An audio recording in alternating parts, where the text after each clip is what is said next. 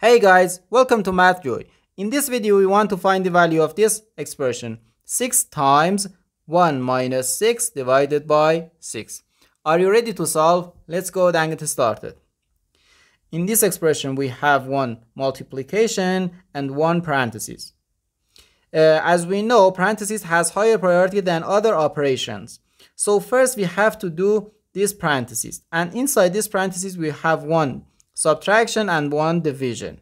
According to the order of operations, uh, division has higher priority than subtraction. So first we have to do this division. 6 divided by 6 gives us 1.